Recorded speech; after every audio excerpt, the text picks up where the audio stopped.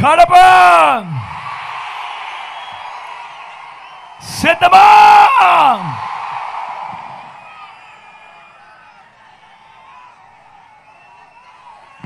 ఈ గడ్డ మీదకి నేను ఎప్పుడు వచ్చినా కూడా మీ చిక్కటి చిరునవ్వుల మధ్య ఎప్పుడు నిలబడినా కూడా మీ ఆప్యాయతలకు మీ ప్రేమానురాగాలకు మీ బిడ్డ ఎప్పటికీ కూడా మీకు రుణపడి ఉంటాడే అని ఈ సందర్భంగా సగర్వంగా కూడా తెలియజేస్తా ఉన్నా. చెరగని చిరునవ్వులతో ఇంతటి ఆప్యాయతలు చూపిస్తూ చెరగని చిరునవ్వులతో ఎంతటి ప్రేమానురాగాలు చూపిస్తూ చెరగని చిరునవ్వులతో ఇంతటి ఆత్మీయతలను పంచిపెడుతూ ఈ ప్రేమానురాగాలకు ఈ ఆప్యాయతలకు ఇక్కడికి వచ్చి ఇంతటి ఆత్మీయతను పంచిపెడుతున్న నా ప్రతి అక్కకు నా ప్రతి చెల్లెమ్మకు నా ప్రతి అవ్వకు నా ప్రతి తాతకు నా ప్రతి సోదరుడికి నా ప్రతి స్నేహితుడికి ముందుగా మీ బిడ్డ మీ జగన్ రెండు చేతులు జోడించి పేరు పేరు నా హృదయపూర్వకంగా కృతజ్ఞత తెలుపుకుంటా ఉన్నాడు.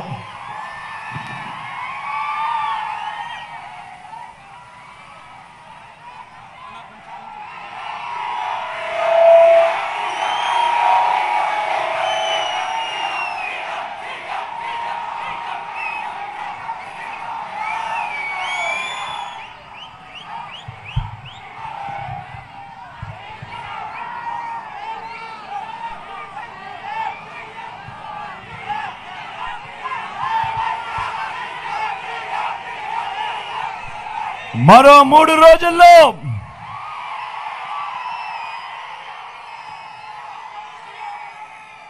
బాలెట్ బద్దలు కొట్టడానికి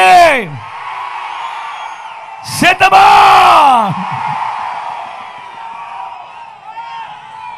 ఈ జరగబోయే ఈ ఎన్నికలు కేవలం ఎమ్మెల్యేలను ఎంపీలను ఎన్నుకునేందుకు మాత్రమే జరుగుతా ఉన్న ఎన్నికలు కావు.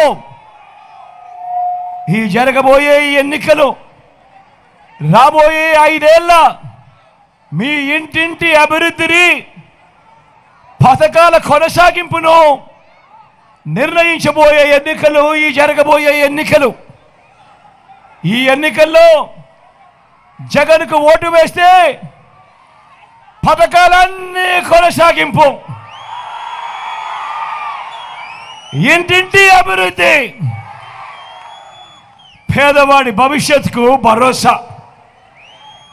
అదే పొరపాటున చంద్రబాబుకు ఓటు వేస్తే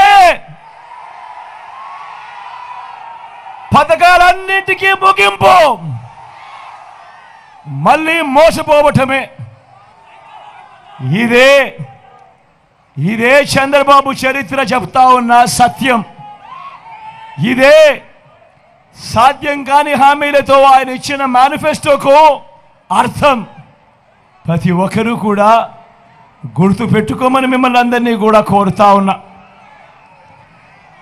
చంద్రబాబుకు ఓటు వేయడము అని అంటే దాని అర్థం కొండ చిలువ నోట్లో తలబెట్టడమే అన్నది ప్రతి ఒక్కరూ కూడా జ్ఞాపకం పెట్టుకోమని కోరుతా ఉన్నా.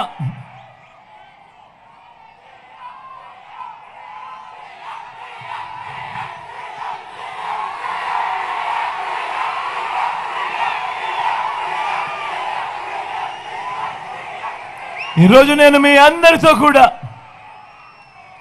నాలుగు విషయాలు మీ అందరితో కూడా పంచుకోవాలనుకుంటా ఉన్నాను. ఈరోజు నేను అడుగుతా ఉన్నాను మీ అందరితో కూడా. ఎప్పుడూ జరగని విధంగా ఎప్పుడూ చూడని విధంగా మీ బిడ్డ ఈ యాభై తొమ్మిది సంవత్సర యాభై తొమ్మిది నెలల కాలంలో రాష్ట్రంలో ఇంతకుముందు ఎప్పుడూ చూడని విధంగా రాష్ట్రంలో ఇంతకుముందు ఎప్పుడు జరగని విధంగా మొట్టమొదటిసారిగా మీ బిడ్డ రాష్ట్ర రాజకీయాలను మారుస్తూ మీ బిడ్డ రాకమునుపు వరకు కూడా ఎన్నికలు వచ్చేసరికి ఒక మేనిఫెస్టో అంటూ రాజకీయ పార్టీలు ఇచ్చేవాళ్ళు. రంగురంగుల కాగితాలతో ఆక రంగురంగుల కాగితాలతో అబద్ధాలకు రెక్కలు కడుతూ పేదల ఆశలతో ఆడుకునే కార్యక్రమం. ఎన్నికలు అయిపోయిన తర్వాత మేనిఫెస్టో చెత్తబుట్టలో వేసే కార్యక్రమం.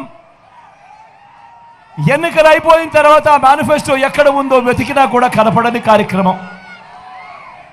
ఆ పరిస్థితిని మారుస్తూ మొట్టమొదటిసారిగా రాజకీయాలలో విశ్వసనీయత అన్న పదానికి అర్థం తీసుకొచ్చిన పాలన ఎక్కడైనా జరిగింది అని అంటే అది మీ బిడ్డ పాలనలోనే అని చెప్పడానికి కూడా గర్వపడతా ఉన్నా. మొట్టమొదటిసారిగా దేశ చరిత్రలో కూడా బహుశా ఎప్పుడు జరగకపోయిండొచ్చేమో మొట్టమొదటిసారిగా రాష్ట్రంలో ఎప్పుడు చూడని విధంగా ఏకంగా తొంభై తొమ్మిది శాతం ఎన్నికల మేనిఫెస్టోలో చెప్పిన వాగ్దానాలను నెరవేర్చి ఎన్నికల మేనిఫెస్టోను ఒక భగవద్గీతగా ఒక ఖురాన్గా ఒక భగవద్ ఒక బైబిల్గా భావిస్తూ ఏకంగా తొంభై తొమ్మిది శాతం హామీలను అమలు చేసి ఆ అమలు చేసిన మేనిఫెస్టోను నా ప్రతి అక్కకు నా ప్రతి చెల్లెమ్మకు నా ప్రతి అక్కకు నా ప్రతి చెల్లెమ్మకు వాళ్ళ ఇంటికి పంపించి ఆ అక్క చెల్లెమ్మల ఆశీస్సులు తీసుకుంటా ఉన్నా. ఏకైక ప్రభుత్వం మీ బిడ్డ ప్రభుత్వము అని చెప్పి చెప్పడానికి కూడా గర్వపడతా ఉన్నాను మీ అందరి సమక్షంలో.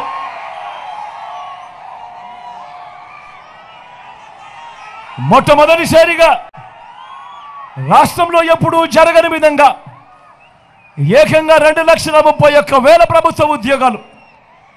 రాష్ట్రంలో మీ బిడ్డ ప్రభుత్వం మీ బిడ్డ ప్రభుత్వం రాకమునుపు రాష్ట్రంలో ఉన్న మొత్తం ఉద్యోగాలు నాలుగు లక్షలైతే మీ బిడ్డ ప్రభుత్వం వచ్చిన తర్వాత ఈ యాభై తొమ్మిది నెలల కాలంలో రాష్ట్రంలో ఎప్పుడూ జరగని విధంగా ఏకంగా మరో రెండు లక్షల ముప్పై ఒక్క వేల ఉద్యోగాలు మీ బిడ్డ మీ అందరి ఆశీస్సులతో దేవుడు ఆశీస్సులతో ఇవ్వగలిగాడు. ఒక చరిత్రను సృష్టిస్తూ. ఈరోజు ఆ పిల్లలు మన తమ్ముళ్ళు మన చెల్లెమ్మలు ఈరోజు ఏకంగా గ్రామ సచివాలయాల్లోనే కనిపిస్తారు. ఏకంగా లక్ష ముప్పై ఐదు వేల మంది పై చెలుకు నా తమ్ముళ్ళు నా చెల్లెమ్మలు. ఆలోచన చేయమని అడుగుతా ఉన్నా. మీ బిడ్డ రాక మునుపు ఏ పేదవాడు ఎలా ఉన్నాడు అని ఎవడు పట్టించుకున్న పరిస్థితి ఏ పొద్దు లేదు.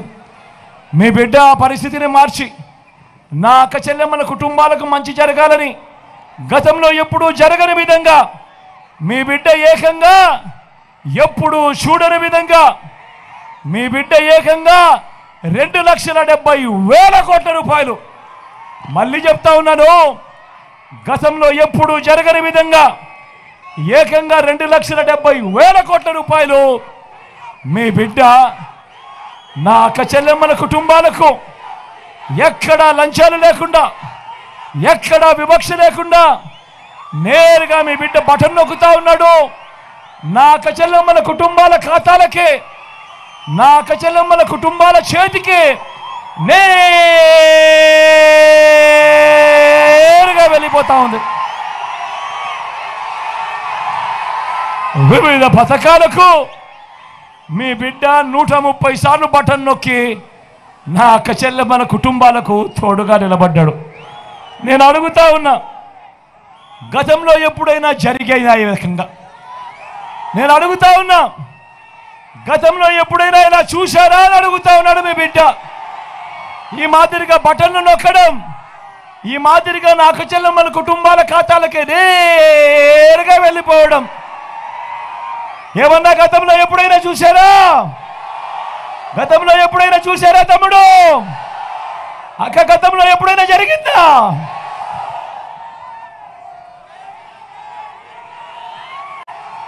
మొట్టమొదటిసారిగా రాష్ట్రంలో ఎప్పుడూ కూడా జరగని విధంగా మొట్టమొదటిసారిగా నాడు నేడుతో బాగుపడ్డ గవర్నమెంట్ స్కూళ్ళు.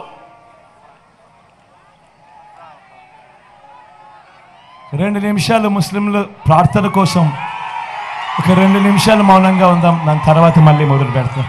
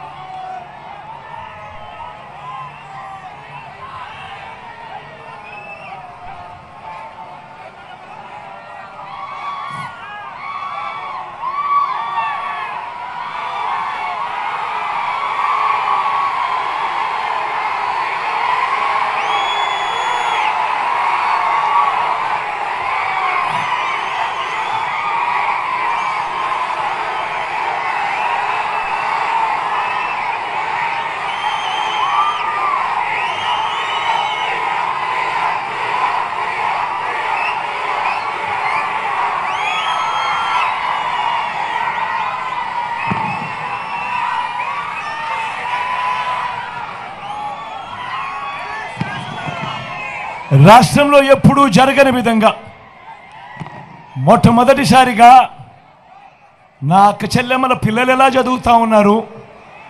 నా అక్క చెల్లెమ్మల పిల్లలకు బ్రహ్మాండమైన భవిష్యత్తు ఇవ్వాలి అని అంటే ఏం చెయ్యాలి అన్న ఆలోచనలు జరిగినది కేవలం ఈ యాభై తొమ్మిది నెలల కాలంలోనే.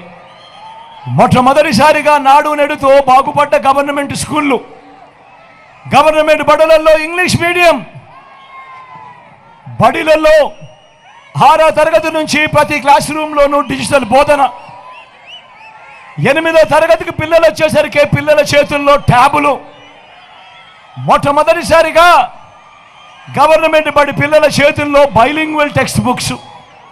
అంటే ఒక పేజీ ఇంగ్లీషు మరో పేజీ తెలుగు. మొట్టమొదటిసారిగా మూడో తరగతి నుంచే పిల్లలకు టోఫుల్ క్లాసులు. మొట్టమొదటిసారిగా మూడో తరగతి నుంచే సబ్జెక్ట్ టీచర్లు. మొట్టమొదటిసారిగా మన పిల్లలకు ఇంగ్లీష్ మీడియంతో మొదలెడితే ఐబీ దాకా ప్రయాణం మొట్టమొదటిసారిగా జరుగుతూ ఉంది. మొట్టమొదటిసారిగా మొట్టమొదటిసారిగా బడులు తెరిచేసరికి పిల్లలకు విద్యా కానుక. మొట్టమొదటిసారిగా బడులలో పిల్లలకు గోరుముద్ద. పిల్లలను బడికి పంపే తల్లులకు గతంలో ఎప్పుడూ చూడనట్టుగా పిల్లలను బడికి పంపే తల్లులకు ప్రోత్సహిస్తూ ఓ అమ్మ ఒడి మొట్టమొదటిసారిగా ఎప్పుడు చూడని విధంగా పెద్ద చదువులకు పెద్ద చదువులకు పూర్తి అండనిస్తూ ఏ పిల్లాడు కూడా అప్పులు పాలయ్యే పరిస్థితి రాకూడదు. ఏ తల్లి తండ్రి తమ పిల్లల కోసము తమ చదువుల కోసం ఇబ్బంది పడే పరిస్థితి రాకూడదు అని మొట్టమొదటిసారిగా ఇంజనీరింగ్ చదువుతా ఉన్న పిల్లలకు డాక్టర్ చదువుతా ఉన్న పిల్లలకు డిగ్రీలు చదువుతా ఉన్న పిల్లలకు ఈ రోజు రాష్ట్రంలో ఏకంగా తొంభై మూడు శాతం మంది పిల్లలు ఈ రోజు పూర్తి ఫీజు రీయింబర్స్మెంట్తో ఈరోజు జగనన్న విద్యా దీవెన జగనన్న వసతి దీవెన ఈ రోజు మన పిల్లలకు నా అక్క చెల్లెమ్మలకు ఈరోజు అందిస్తూ ఉన్నాం. మొట్టమొదటిసారిగా పెద్ద చదువులలో ఆ డిగ్రీలలో ఈరోజు ఇంటర్నేషనల్ యూనివర్సిటీస్తో ఆన్లైన్ సర్టిఫైడ్ కోర్సులను ఈరోజు తీసుకొచ్చా ఉన్నాం. మొట్టమొదటిసారిగా ఈరోజు డిగ్రీలలో మ్యాండేటరీ ఇంటర్న్షిప్ తీసుకొచ్చే కార్యక్రమం ఈరోజు జరుగుతూ ఉంది. నేను అడుగుతా ఉన్నా ఇంతగా పిల్లల చదువుల మీద ధ్యాస పెట్టిన ప్రభుత్వం గతంలో ఎప్పుడైనా జరిగిందా అని అడుగుతా ఉన్నాడు మీ బిడ్డ. జరిగిందా అన్నా?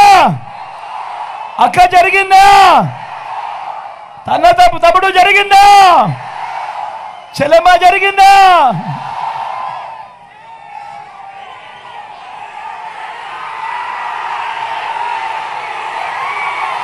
అక్క చెల్లెమ్మలకు తోడుగా. అక్క చెల్లెమ్మలకు అండగా. గతంలో ఏ ప్రభుత్వము కూడా నా అక్క చెల్లెమ్మలు ఎలా ఉండరు? ఆ అక్క చెల్లెమ్మల కుటుంబాలు ఎలా ఉన్నాయని ఏ రోజు ఆలోచన చేయలేదు. మొట్టమొదటిసారిగా చరిత్రను మారుస్తూ నా అక్క అండగా నా అక్క చెల్లెమ్మలకు తోడుగా ఆ అక్క చెల్లెమ్మలకు ఓ ఓ ఆసర. ఆ అక్క చెల్లెమ్మలకు ఒక సున్నా వడ్డీ. నా అక్క చెల్లెమ్మలకే ఓ చేయూత. నా అక్క చెల్లెమ్మలకే ఓ కాపు నేస్తం. నా అక్క చెల్లెమ్మలకే ఓ ఈబీసీ నేస్తం. నా అక్క చెల్లెమ్మల పేరిట ఏకంగా ముప్పై ఒక్క లక్షల ఇళ్ళ పట్టాలు నా అక్క చెల్లెమ్మల పేరిట రిజిస్ట్రేషన్. అందులో కడతా ఉన్న ఇరవై రెండు లక్షల ఇళ్ళ నిర్మాణం నా అక్క చెల్లెమ్మల పేరిటే. నేను అడుగుతా ఉన్నా ఇంతగా అక్క చెల్లెమ్మను పట్టించుకొని ఆ అక్క చెల్లెమ్మల కోసం ఇన్నిన్ని పథకాలు తీసుకొచ్చిన ప్రభుత్వం గతంలో ఎప్పుడైనా ఉందా అని అడుగుతా ఉన్నాడు మీ బిడ్డ. ఏమన్నా గతంలో ఈ పథకాలు ఉన్నాయా అన్నా? అక్క ఈ పథకాలు పథకంలో ఉన్నాయా? చెల్లెమ్మ ఈ పథకాలు గతంలో ఉన్నాయా?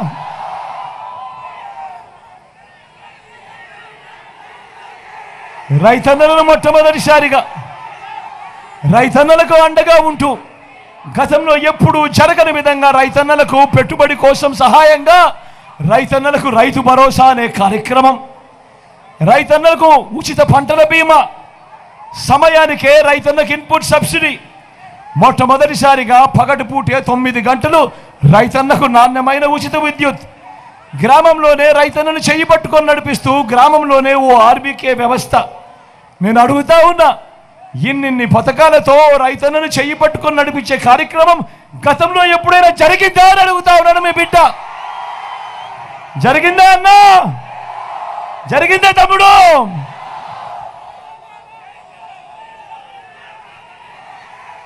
స్వయం ఉపాధికి అండగా స్వయం ఉపాధికి అండగా ఎప్పుడూ కూడా రాష్ట్రంలో చూడని విధంగా.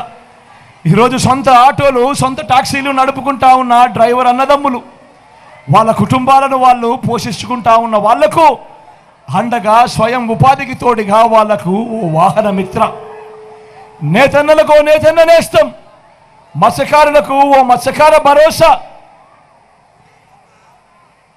ఫుట్పాత్ల మీద కూరగాయలు అమ్ముకుంటా ఉన్న నా అన్నదమ్ములు నా చెల్లెమ్మలు. ఫుట్పాత్ల మీద ఇడ్లీలు వేస్తూ ఉన్నా నా అక్క చెల్లెమ్మలు నా అన్నదమ్ములు. ఎప్పుడైనా ఫుట్పాత్ల మీద అమ్ముకుంటా ఉన్న వాళ్ళు జీవితాలు ఎలా ఉన్నాయి? వాళ్ళకి ఏదైనా మంచి జరిగిందా అన్న ఆలోచన గతంలో ఎప్పుడైనా జరిగిందా అని అడుగుతా ఉన్నాడు మీ బిడ్డ. అటువంటి శ్రమజీవులకు అటువంటి కష్టజీవులకు ఓ తోడు. అటువంటి శ్రమజీవులకు ఓ చేదోడు. లాయర్లకు కూడా ఈరోజు ఓ లానేస్తాం. టేలర్లకు రజకులకు నాయి బ్రాహ్మణులకు అందరికీ కూడా అండ. నేను అడుగుతా ఉన్నా స్వయం ఉపాధి కింద తోడుగా ఉండి ఇన్నిన్ని పథకాలు తీసుకొచ్చిన పరిస్థితులు గతంలో ఎప్పుడైనా ఉన్నాయా అని అడుగుతా ఉన్నాడు మీ బిడ్డ. గతంలో ఈ పథకాలన్నీ ఉన్నాయా అని అడుగుతా ఉన్నాడు మీ బిడ్డ. ఉన్నాయా అన్నా? ఉన్నాయా తమ్ముడు? అక్క ఉన్నాయా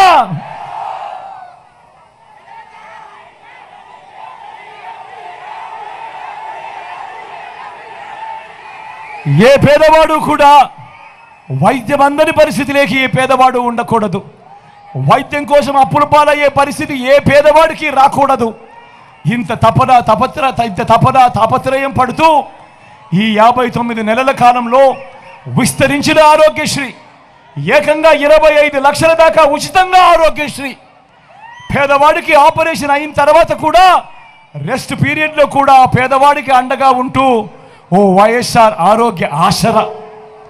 మొట్టమొదటిసారిగా గ్రామంలోనే ఓ విలేజ్ క్లినిక్ మొట్టమొదటిసారిగా గ్రామానికే ఓ ఫ్యామిలీ డాక్టర్ మొట్టమొదటిసారిగా గ్రామంలో ఉన్న ప్రతి ఇంటిని కూడా జల్లడ పడుతూ అన్నాని ఆరోగ్యం బాగుందా? అక్కాని ఆరోగ్యం బాగుందా? అవ్వా నీ ఆరోగ్యం బాగుందా? అని చెప్పి ఆ ఇంటికే వెళ్ళి టెస్టులు చేస్తూ మందులు ఇస్తూ ఆ ఇంటికే ఓ ఆరోగ్య సురక్ష. నేను అడుగుతా ఉన్నా ఇంతగా పేదవాడి ఆరోగ్యం మీద ధ్యాస పెట్టిన ప్రభుత్వం గతంలో ఎప్పుడైనా ఉన్నదా అని అడుగుతా ఉన్నాడు మీ బిడ్డ. మొట్టమొదటిసారిగా ఏ గ్రామాన్ని ఏ గ్రామానికి వెళ్ళి చూసినా కూడా ఆ గ్రామంలోనే ఏకంగా ఆరు వందల రకాల సేవలు అందిస్తూ ఉన్న గ్రామ సచివాలయం. అదే గ్రామంలో అరవై డెబ్బై ఇళ్ళకు ఇంటికే వచ్చి సేవలు అందిస్తూ ఉన్న ఓ వాలంటీర్ల వ్యవస్థ. అదే గ్రామంలోనే ఎప్పుడూ కూడా జరగని విధంగా అదే గ్రామంలోనే మొట్టమొదటిసారిగా అవ్వా తాతలకు ఇంటికే అందుతా ఉన్న పెన్షన్. మొట్టమొదటిసారిగా ఇంటి వద్దకే రేషన్ ఇంటి వద్దకే పథకాలు ఇంటి వద్దకే పౌర సేవలు. అదే గ్రామంలోనే ఓ ఆర్బీకే వ్యవస్థ రైతన్నను చెయ్యి పట్టుకొని నడిపిస్తూ అదే గ్రామంలోనే ఓ విలేజ్ క్లినిక్ మరో నాలుగు అడుగులు వేస్తే అదే గ్రామంలోనే నాడు నేడుతో మారిన ఇంగ్లీష్ మీడియం బడి. అదే గ్రామంలోనే ఫైబర్ గ్రిడ్ అదే గ్రామానికే కడుతా ఉన్న డిజిటల్ లైబ్రరీలు. అదే గ్రామంలోనే నా అక్క చెల్లెమ్మలకు తోడుగా ఓ మహిళా పోలీస్. అదే గ్రామంలోనే నా ప్రతి అక్క చెల్లెమ్మ ఫోన్లో ఆపదలో ఉంటే చాలు ఒక బటన్ నొక్కితే చాలు ఒక దిశ యాప్ నా అక్క చెల్లెమ్మల ఫోన్లో. ఆ బటన్ నొక్కిన వెంటనే పది నిమిషాల్లోనే పోలీస్ తమ్ముడు వచ్చి అక్క ఏమైందక్క? అని చెప్పి అడిగే ఒక గొప్ప పరిస్థితి ఈ యాభై తొమ్మిది నెలల కాలంలోనే జరిగింది. నేను అడుగుతా ఉన్నా మీ అందరినీ కూడా ఈరోజు అడుగుతా ఉన్నా. ఇవన్నీ ఎప్పుడైనా జరిగాయా అని అడుగుతా ఉన్నాడు మీ బిడ్డ. ఇలా లంచాలు వివక్ష లేకుండా పాలన ఎప్పుడైనా జరిగిందా అని అడుగుతా ఉన్నాడు మీ బిడ్డ. ఇలా ఇంటికే వచ్చే పెన్షన్ ఇంటికే వచ్చే పథకాలు ఇంటికే వచ్చే పౌర సేవలు గతంలో ఎప్పుడైనా జరిగాయా అని అడుగుతా ఉన్నాడు మీ బిడ్డ.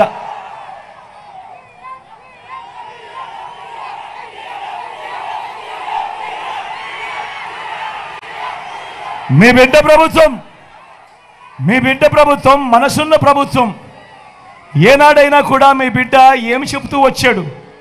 మీ బిడ్డ ఏం చేస్తూ వచ్చాడు అని అంటే మీ బిడ్డ పేదవాడిని పేదవాడిగానే చూశాడు. మీ బిడ్డ ఏ రోజు పేదవాడి కులం అడగలేదు పేదవాడి మతం అడగలేదు పేదవాడి విషయంలో రాజకీయాలు చూడలేదు మీరు ఏ పార్టీకి ఓటు వేశారు అని చెప్పి మీ బిడ్డ పాలనలో ఎప్పుడూ కూడా అడగలేదు. మీ బిడ్డ ప్రతి పేదవాడిని కూడా ఆ పేదరికం నుంచి బయటికి ఎలా తీయాలి బయటికి ఎలా అడుగులు వేయించాలి అని మొట్టమొదటిసారిగా ఆ పేదవాడి గురించి ఆలోచన చేసి ఆ పేదవాడి భవిష్యత్ కోసం ఏం చెయ్యాలి అన్న అడుగులు పడింది. కేవలం ఈ యాభై తొమ్మిది నెలల కాలంలోనే అని సగర్వంగా కూడా తెలియజేస్తా ఉన్నాను. మరో వంక మరో వంక చంద్రబాబు రాజకీయం చూడండి. మరో వంక చంద్రబాబు రాజకీయం చూడండి. ఊసరి వెళ్ళి రాజకీయాలు కనిపిస్తాయి చంద్రబాబు రాజకీయాలలో. ఈ చంద్రబాబు బాగా ముదిరిపోయిన తొండ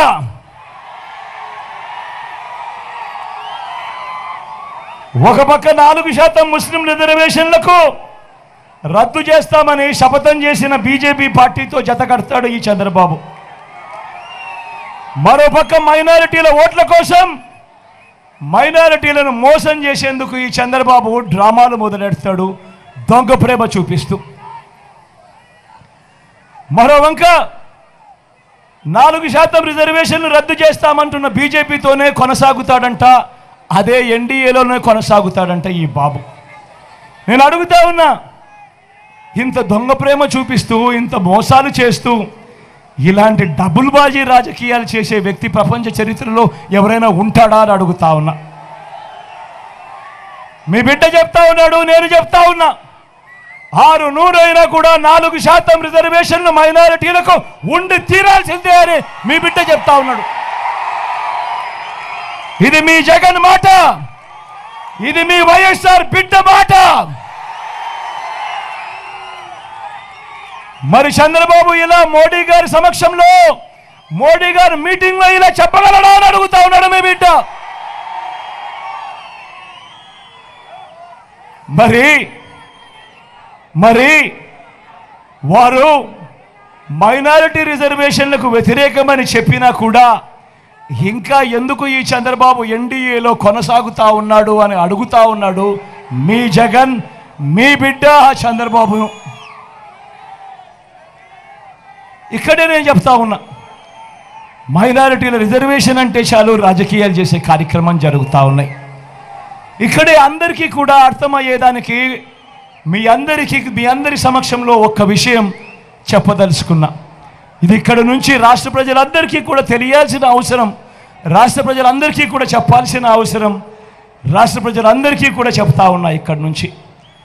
నాలుగు శాతం రిజర్వేషన్లు కేవలం మతం ప్రాతిపదికగా ఇచ్చిన రిజర్వేషన్లు కానే కావు. ముస్లింలలో కూడా ఉన్నత వర్గాలకు ఈ రిజర్వేషన్లు అందించడం లేదు. వర్తించడం లేదు.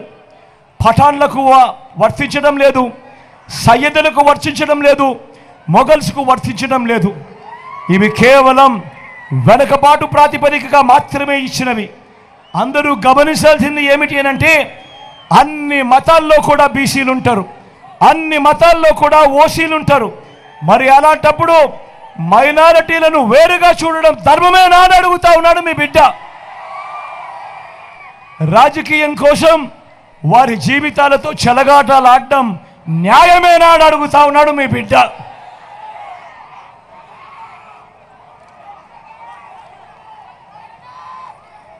అందుకే మీ బిడ్డ చెప్తా ఉన్నాడు. అందుకే మీ బిడ్డ చెప్తా ఉన్నాడు. ఎట్టి పరిస్థితిలోనూ కూడా ఈ నాలుగు శాతం రిజర్వేషన్లు ఖచ్చితంగా కొనసాగుతాయి ఖచ్చితంగా కొనసాగాలి అని మీ బిడ్డ చెప్తా ఉన్నాడు. నాలుగు శాతం రిజర్వేషన్ల విషయంలో అయినా కానివ్వండి ఎన్ఆర్సీ విషయంలో అయినా కానివ్వండి సిఏఏ విషయంలో అయినా కానివ్వండి ఇంకా ఏ అంశంలో అయినా కూడా మైనారిటీల మనోభావాలకు వారి ఇజ్జత్ ఇమాన్కు అండగా వారికి మద్దతుగా మైనారిటీల పట్ల ప్రేమ చూపిస్తూ మీ బిడ్డ ఎప్పటికీ కూడా వాళ్ళకు తోడుగా ఉంటాడని సందర్భంగా సగర్వంగా తెలియజేస్తా ఉన్నా.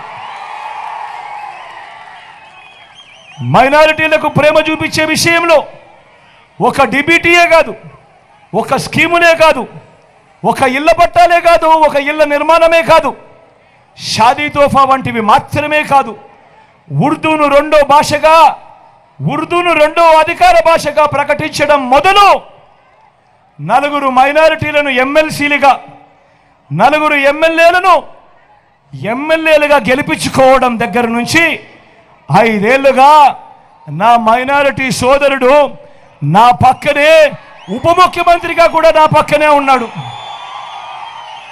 అంతేకాదు నా మైనారిటీ సోదరి కూడా శాసన మండలి ఉపాధ్యక్షురాలుగా కూడా ఉంది. నా అక్క నా తల్లి లాంటిది. నా అక్క నా తల్లి లాంటిది. శాసన మండలి ఉపాధ్యక్షురాలుగా కూడా నా పక్కనే ఉంది. మైనారిటీ సప్లాన్ బిల్లు తేవడం మొదలు. ఇలా ప్రతి సందర్భంలో కూడా వారికి సముచిత స్థానం ఇచ్చుకుంటూ వచ్చాం. నేను ఆలోచన చేయము నేను మీ అందరినీ కూడా అడుగుతా ఉన్నా. ఆ దివంగత నేత ప్రీతమ నాయకుడు రాజశేఖర రెడ్డి నగరు నాన్నగారు నాలుగు శాతం మైనారిటీలకు రిజర్వేషన్లు. నాన్నగారు అడుగులు ముందుకు వేస్తే నాన్నగారి బిడ్డ మీ జగన్ మరో నాలుగు అడుగులు ముందుకు వేసి మొట్టమొదటిసారిగా నూట డెబ్బై ఐదు అసెంబ్లీ స్థానాలకు నాలుగు శాతం అని అంటే ఏడు అసెంబ్లీ స్థానాలు. మొత్తంగా ఏడు అసెంబ్లీ స్థానాలు ఇచ్చి నాలుగు శాతం పొలిటికల్ రిజర్వేషన్ కూడా ఇచ్చింది. మీ బిడ్డే మీ జగనే మీ వైఎస్ఆర్ కాంగ్రెస్ పార్టీ అని కూడా సగర్వంగా తెలియజేస్తా ఉన్నాను.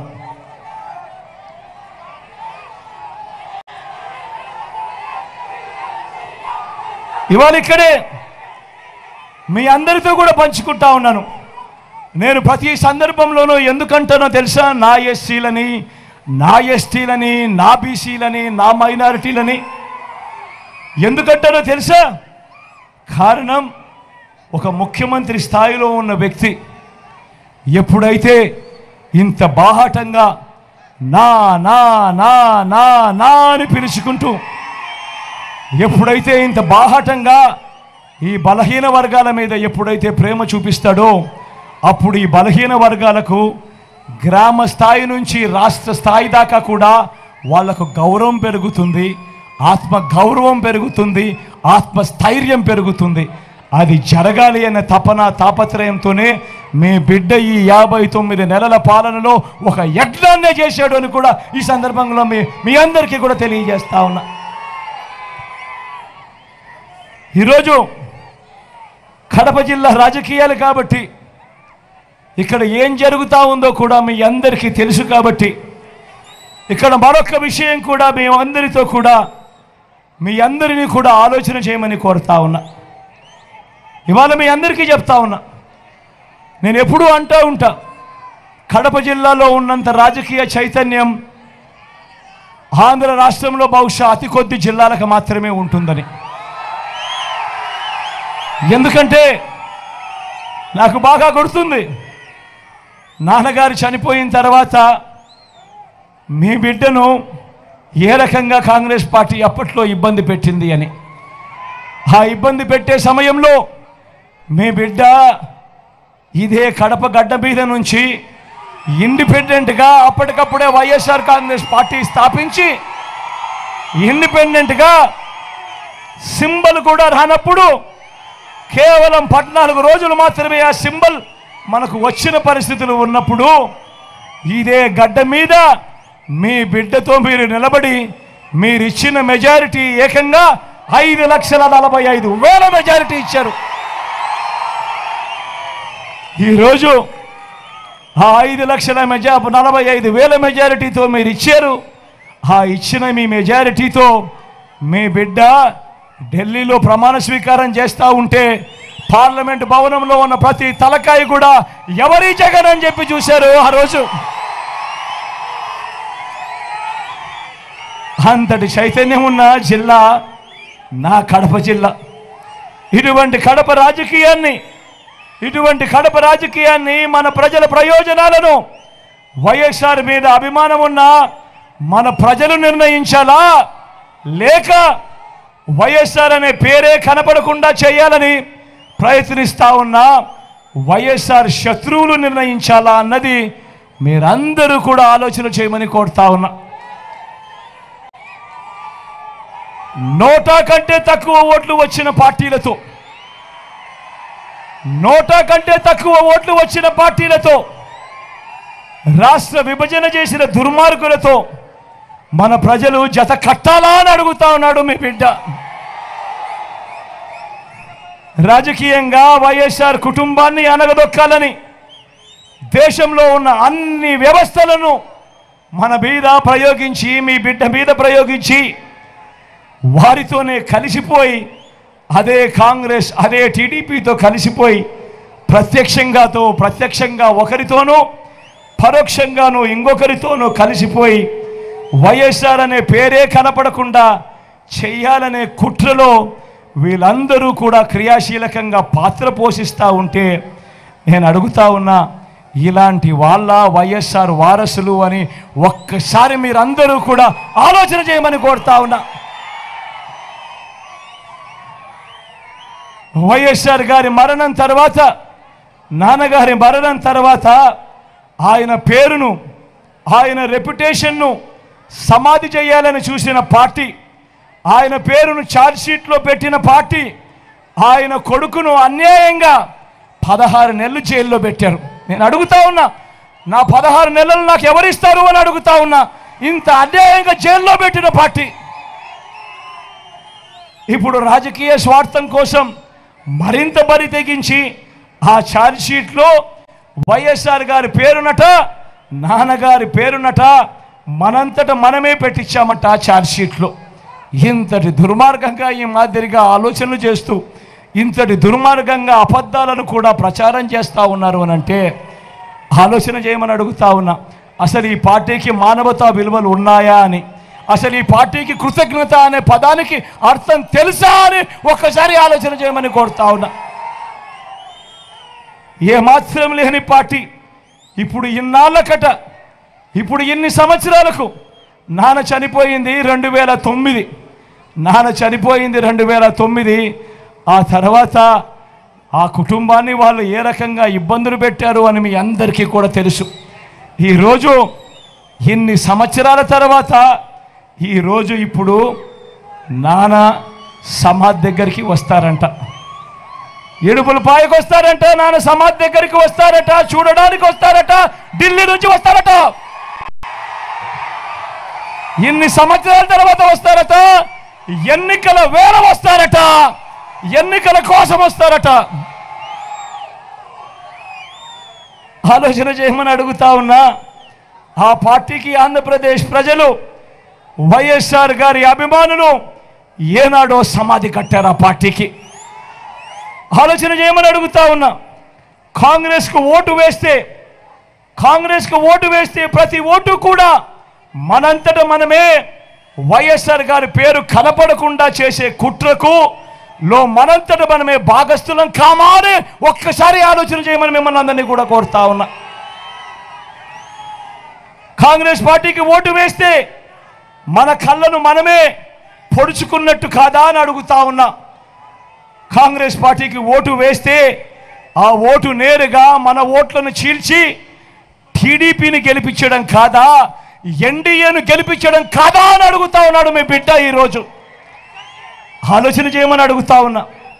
ప్రతి విషయంలోనూ కూడా ఈరోజు ఎందుకు వీళ్ళు మన రాష్ట్రానికి వచ్చారు? ఎందుకు ఎన్నికల వేళ వీళ్ళు మన రాష్ట్రానికి వచ్చారు అని ప్రతి ఒక్కరూ ఆలోచన చేయమని అడుగుతా ఉన్నా. చంద్రబాబును గెలిపించడం కోసం ఏ రకంగా కుట్రలు జరుగుతూ ఉన్నాయి అన్నది ప్రతి ఒక్కరూ కూడా ఆలోచన చేయమని అడుగుతా ఉన్నా. చంద్రబాబును గెలిపించడం కోసం మన ఓట్లను చీల్చడం కోసం ఈరోజు కాంగ్రెస్ పార్టీ ఆంధ్ర రాష్ట్రంలో రంగప్రవేశం చేసింది అని అంటే చంద్రబాబు రాజకీయాలు ఎలా ఉన్నాయని ఒక్కసారి గమనించమని అడుగుతా ఉన్నా. ఇదే చంద్రబాబు మనిషి రేవంత్ రెడ్డి. ఇదే రేవంత్ రెడ్డి కాంగ్రెస్ పార్టీకి సంబంధించిన ముఖ్యమంత్రి తెలంగాణ. ఒకవైపున పట్టపగలు బీజేపీతో కాపురం చేస్తాడు రాత్రిపూట కాంగ్రెస్తో కాపురం చేస్తాడు ఈ పెద్ద మనిషి చంద్రబాబు. ఆలోచన చేయమని అడుగుతా ఉన్నా ఈరోజు రాజకీయాలు ఎంతగా దిగజారిపోయాయి అని చెప్పి.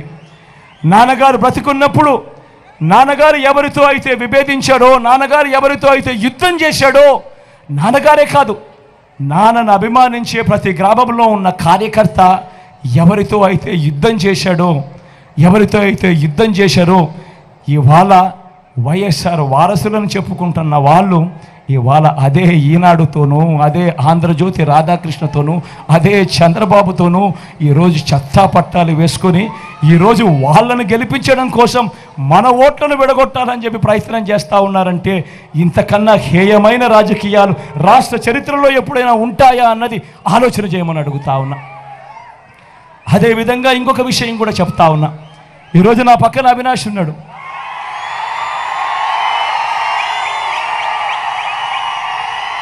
మాకన్నా చాలా చిన్న పిల్లోడు. నాకన్నా పదమూడేళ్ళ చిన్న పిల్లోడు ఈ పిల్లోడు. నిజంగా నాకన్నా పదమూడేళ్ళ చిన్న పిల్లోడు. మా అందరికన్నా చిన్నోడు. ఈ పిల్లోని జీవితం నాశనం చేయడం కోసం చంద్రబాబు నాయుడు దగ్గర నుంచి కుట్రలు పడుతూ ఉన్నారు. ఈనాడు నుంచి కుట్రలు వేస్తూ ఉంది. ఆంధ్రజ్యోతి నుంచి కుట్రలు పడుతూ ఉన్నారు. టీవీ ఫైవ్ నుంచి కుట్రలు పడుతూ ఉన్నారు. వీళ్ళందరి కుట్రల్లో భాగంగా కడప జిల్లాలో ఒక రాజకీయ వాక్యూమ్ క్రియేట్ చేయాలని ఆ రాజకీయ వాక్యూమ్లోకి వాళ్ళు రావాలని ఈరోజు కుట్రలు పన్నుతూ ఈ పిల్లాడి జీవితం నాశనం చేయడానికి ఇన్నిన్ని అడుగులు వేస్తూ ఉన్నారంటే వీళ్ళంతా మనుషులేనా అని చెప్పి మీ అందరి సమక్షంలో అడుగుతా ఉన్నా.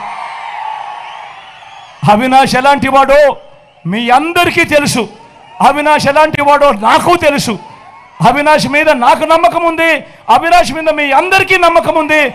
అవినాష్కు గొప్ప మెజారిటీతో గెలిపించమని చెప్పి కోరుతా ఉన్నాను మీ అందరినీ కూడా.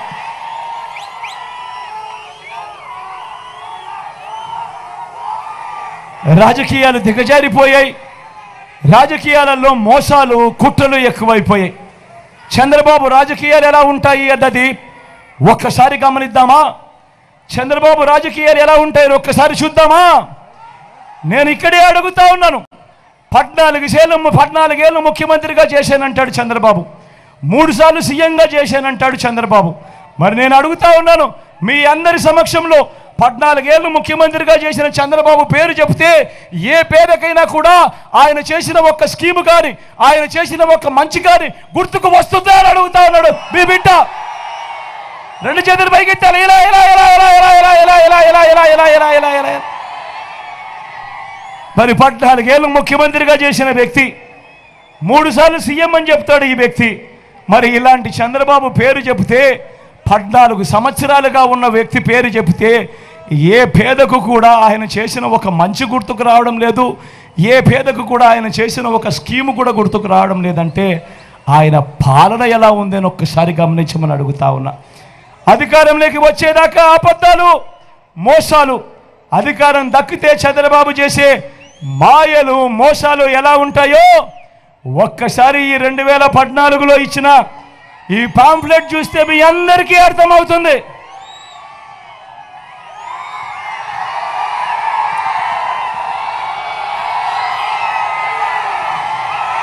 గుర్తుందా ఈ పాంఫ్లెట్? రెండు వేల పద్నాలుగులో స్వయంగా చంద్రబాబు సంతకం పెట్టి ఎన్నికలకు ముందు ముఖ్యమైన హామీలను అంటూ మీ ప్రతి ఇంటికి పంపించాడు ఈ పాంఫ్లెట్ ఎన్నికల మేనిఫెస్టోలో చెప్పిన వాటిలో నుంచి ముఖ్యమైన హామీలను అంటూ రెండు వేల పద్నాలుగులో స్వయంగా చంద్రబాబు సంతకం పెట్టి ఈ ముగ్గురి కూటమితో ఉన్న ఈ ముగ్గురి ఫోటోలు పెట్టుకొని ప్రతి ఇంటికి ఈ పాంఫ్లెట్ పంపించాడు. పంపించడమే కాదు అప్పట్లో మీకు గుర్తుండే ఉంటుంది.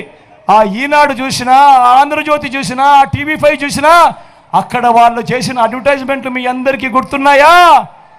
ఊదరు కొట్టేసే అడ్వర్టైజ్మెంట్లలో. ప్రజలు చంద్రబాబు మాట నమ్మారు. చంద్రబాబుకు అధికారం ఇచ్చారు రెండు వేల పద్నాలుగు నుంచి పంతొమ్మిది మధ్య. నేను అడుగుతా ఉన్నా చంద్రబాబు ముఖ్యమంత్రిగా ఉన్న ఐదు సంవత్సరాలలో రెండు వేల పద్నాలుగు అప్పుడు ఎన్నికల వేళ ముఖ్యమైన హామీలను అంటూ తాను సంతకం పెట్టి పంపించిన ఈ పాంఫ్లెట్లో నుంచి కనీసం ఇందులో చెప్పినేటివి ఒక్కటంటే ఒక్కటైనా చేశాడా అని నేను మిమ్మల్ని అడుగుతాను మీరే సమాధానం చెప్పండి నేను మిమ్మల్ని అడుగుతా ఉన్నా ఇందులో ముఖ్యమైన హామీలలో మొదటి హామీ రైతులకు రుణమాఫీ అంటూ మొదటి సంతకం చేస్తానన్నాడు నేను అడుగుతా ఉన్నా ఎనభై ఏడు వేల ఆరు వందల పన్నెండు కోట్ల రూపాయల వ్యవసాయ రుణాల మాఫీ అన్నాడు జరిగిందా అని అడుగుతా ఉన్నాడు మీ బిడ్డ రెండు చేతులు పైకెత్తాలి ఇలా ఇలా ఇలా ఇలా ఇలా ఇలా ఇలా ఇలా ఇలా ఇలా ఈ మనిషి చేసిన రెండో హామీ పొదుపు సంఘాల రుణాలన్నీ రద్దు చేస్తానన్నాడు ఈ పెద్ద మనిషి చంద్రబాబు. నేను అడుగుతా ఉన్నా డ్వాక్రా స- డ్వాక్రా అక్క చెల్లెమ్మలకు రుణాలు పద్నాలుగు వేల రెండు వందల ఐదు కోట్ల రూపాయలు. నేను అడుగుతా ఉన్నా ఇందులో కనీసం చంద్రబాబు ఒక్క రూపాయి అయినా చేశాడా అని అడుగుతా ఉన్నాడు మీ బిడ్డ. ఇలా ఇలా ఇలా ఇలా ఇలా ఇలా ఇలా ఇలా ఇలా. మూడో హామీ ఆడబిడ్డ పుడితే ఆడబిడ్డ పుడితే మహాలక్ష్మి పథకం కింద ఇరవై వేల రూపాయలు బ్యాంకుల్లో వేస్తామన్నాడు. నేను అడుగుతా ఉన్నా ఇక్కడ ఇన్ని వేల మంది ఉన్నారు. మీలో ఏ ఒక్కరికైనా కూడా ఆడబిడ్డ పుట్టినార ఆడబిడ్డ పుడితే ఇరవై ఐదు వేల రూపాయలు బ్యాంకుల్లో వేస్తామన్నారు. కనీసం ఒక్క రూపాయి అయినా వేసాడా అని అడుగుతా ఉన్నాడు మీ బిడ్డ. ఇలా ఇలా ఇలా ఇలా ఇలా ఇలా ఇలా ఇలా ఇలా. ఇంటింటికి ఉద్యోగం. ఉద్యోగం ఇవ్వకపోతే రెండు వేల రూపాయలు నిరుద్యోగ భృతి అన్నాడు. నెల నెల ఇస్తానన్నాడు. నేను అడుగుతా ఉన్నా చంద్రబాబు పాలన అంటే ఐదు సంవత్సరాలు అంటే అరవై నెలలు అంటే ఇంటూ రెండు ఇంటూ నెలకు రెండు వేల రూపాయలు అంటే ప్రతి ఇంటికి లక్ష ఇరవై వేల రూపాయలు. ఇచ్చాడా అని అడుగుతా ఉన్నాడు మీ బిడ్డ.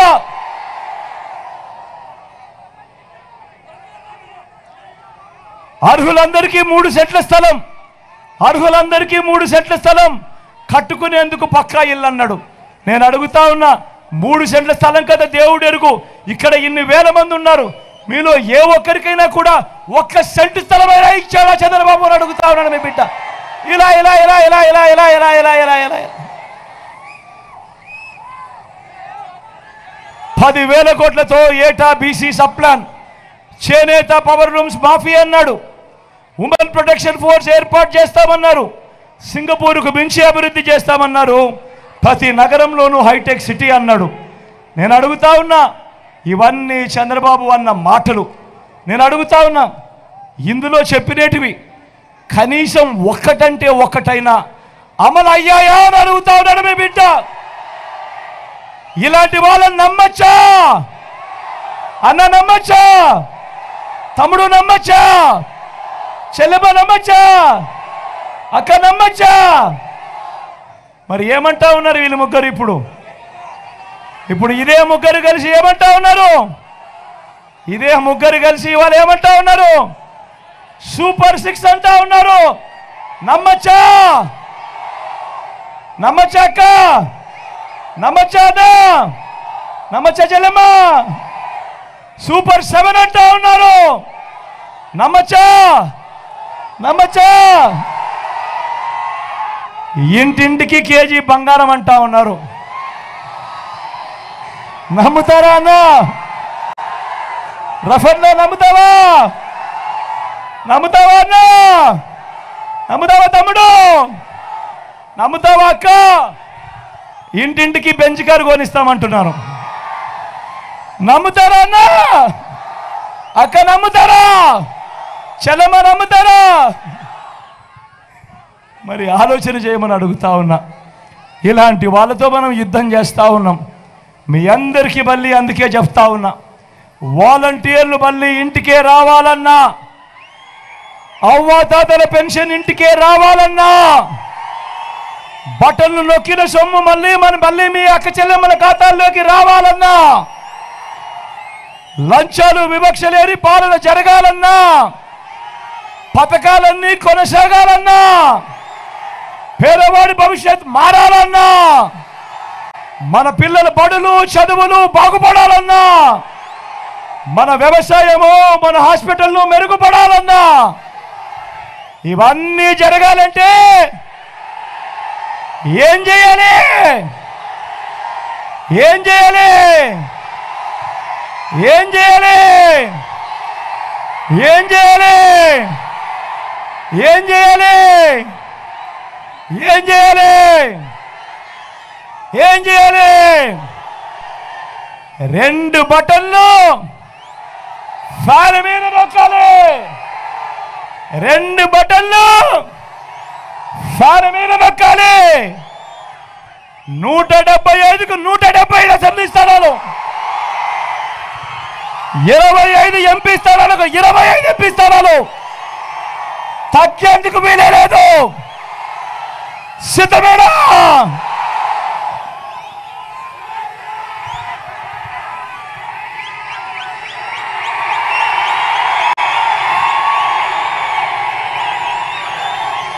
ఇక్కడ అక్కడో ఎక్కడో! మన గుర్తు తెలియని వాళ్ళు ఎవరైనా ఉంటే అన్నా మన గుర్తు ఫ్యాన్! అక్క మన గుర్తు ఫ్యాన్! తమ్ముడు మన గుర్తు ఫ్యాన్! చెల్లెమ్మ మన గుర్తు ఫ్యాన్! ఫ్యాన్!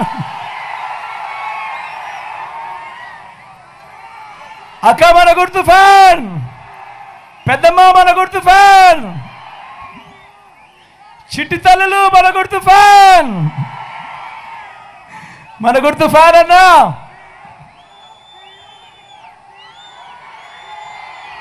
అక్క మన గుర్తు ఫ్యాన్ అక్క!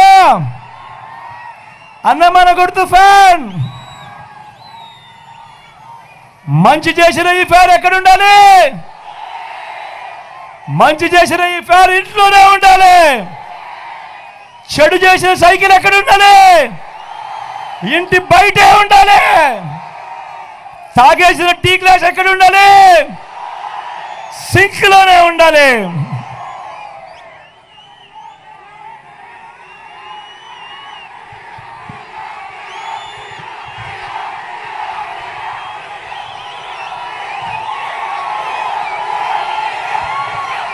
నా కుడి పక్కన మన ఎమ్మెల్యే అభ్యర్థిగా అంజద్ భాయ్ నిలబడతా ఉన్నాడు. మీ అందరికీ పరిచయం ఉన్న వేస్తే వ్యక్తి మంచివాడు సౌమ్యుడు. అప్పుడప్పుడు కొద్దో గొప్ప తన మీద కొద్దో గొప్ప ఎవరికైనా కోపం ఉన్నా కూడా దయచేసి ఆ కోపాన్ని కాస్త పక్కకు పెట్టేసేయండి.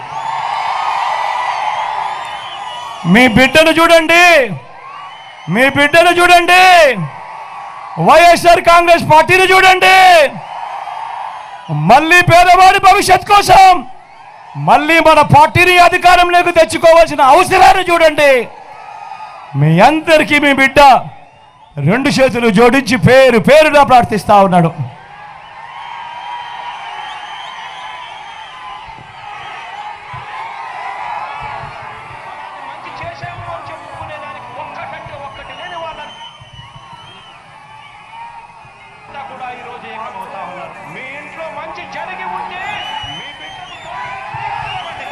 నా ఎడం వైపున అవినాష్ ఉన్నాడు. నా తమ్ముడు యువకుడు ఉత్సాహవంతుడు మీ అందరి చల్లని దీవెనలు ఆశీస్సులు అవినాష్ పై కూడా ఉంచవలసిందిగా సవినయంగా మీ బిడ్డ రెండు చేతులు జోడించి పేరు పేరున ప్రార్థిస్తా ఉన్నాడు.